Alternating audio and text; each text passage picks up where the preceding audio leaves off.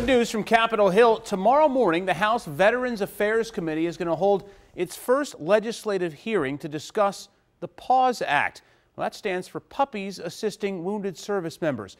More than 190 members of Congress from both parties have signed on to support it. If the bill becomes law, veterans with PTSD would be eligible to get service dogs free of charge starting next year. Andrea McCarren shows us how training these dogs has become a personal mission for one combat veteran. So many veterans have told us that the United States does a great job of turning men and women into war fighters. But they say what our country hasn't done well is transforming them back into civilians. We made sure nobody was left behind over there, so they're not going to be left behind here.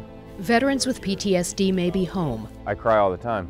But their minds are still at war. Just because it, we made it home, this fight's not over.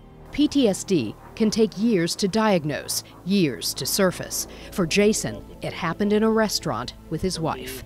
waitress came up behind me. All she did was ask for my drink order. Um, freaked me out, didn't know she was there, flipped the table over, went underneath of it. I don't remember anything else. My wife took me home. This is the emerging face of hope.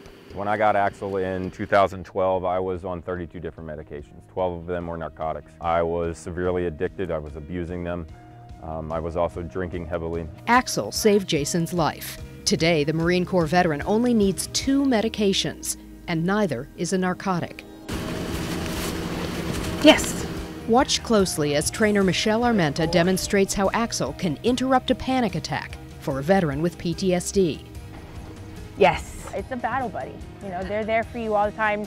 No judgment. The dogs can also stop violent nightmares and pick up dropped items like a wallet or cell phone. Thank you. We may be in a hole that we get ourselves into. The dog's not there to pull us out. He's there to walk with us on our way out. I feel that it's my responsibility and our responsibility to try to fix this problem. And until it does, I'm not going to stop. I will do this until I can't walk anymore. By the time this hour is over, another veteran will have committed suicide. So it's still happening.